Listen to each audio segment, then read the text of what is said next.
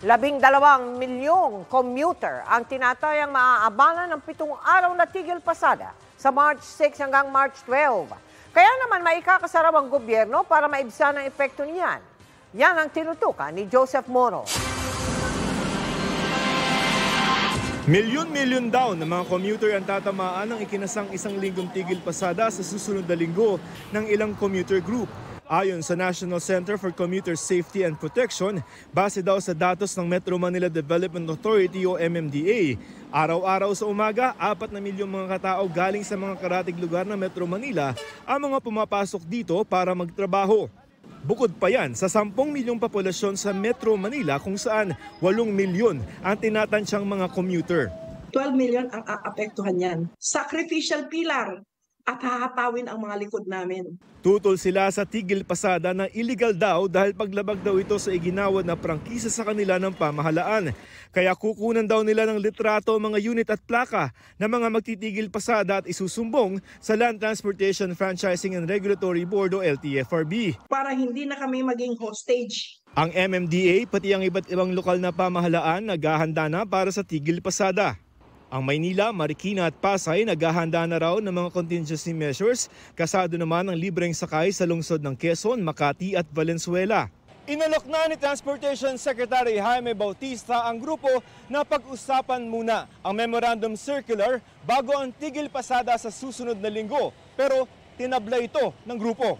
Wala na munang dialogo.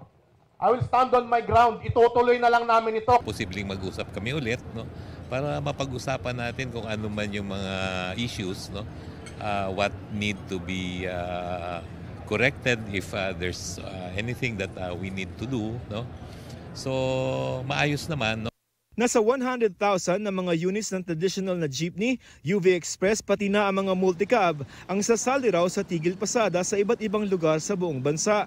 Sa tansya nila, 200,000 hanggang 300,000 ang maapektuhan ng tigil pasada sa Metro Manila. Humingi ng pamanhin at pangunawa ang grupo sa tigil pasada bilang protesta sa June 30 na deadline na itinakda ng LTFRB para sa pagbubuo ng mga kooperatiba para sa modernization program. Kung hindi ay babawiin ang kanilang mga prangkisa. Paano naman kami sa June 30 kung hindi na kami makakabiyahe kinabukasan?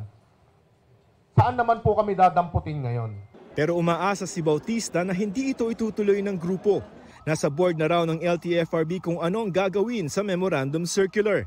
siguro papakiusapan pa rin namin sila na wag ituloy no but uh, ako ay uh, very positive na mapag-uusapan yung issue and uh, hindi mangyayari yung uh, sinasabi nila na strike uh, next week no? Pero may ilang transport group na nauna nang nag-modernize ang hindi sasali sa tigil pasada. Hindi raw ito ang solusyon. Sa Senado naman, nagpasa ng resolusyon para pigilan ang planong phase-out ng traditional jeepney sa June 30.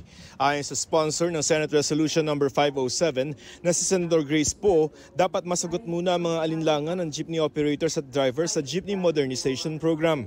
Para sa GMA Integrated News, Joseph Morong, nakatutok 24 oras.